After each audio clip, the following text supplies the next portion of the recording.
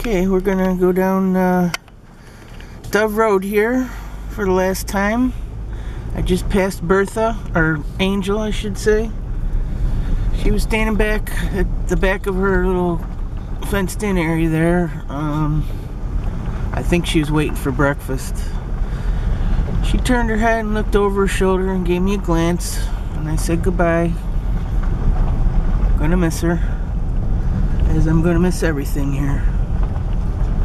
And here over to the right, we got a Kestrel on a wire.